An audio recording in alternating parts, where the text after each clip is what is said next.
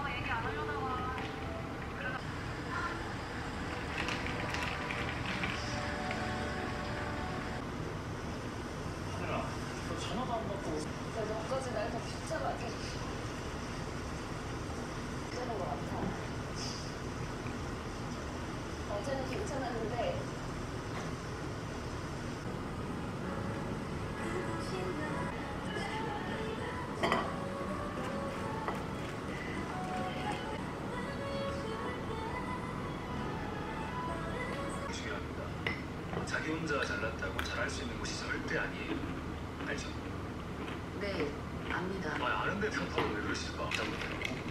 그렇게도 이상한 소문을 내고 민망한 그 여자는 학연지 인터뷰 점수는 500 불인데 진짜를 불성실했다면